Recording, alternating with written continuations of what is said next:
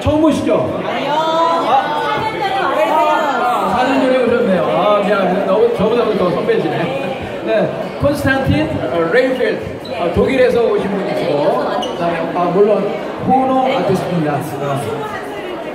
아, 지금 23살이래요. 23살. 23살이고, 어, 하모니카 시작한 지 7년. 딱 7년 됐대. 혼자 학원도 안 다니고. 아. 자, 아, 그, 그, 그러니까 딱 맞네요. 23살에서 일 때문에 19살.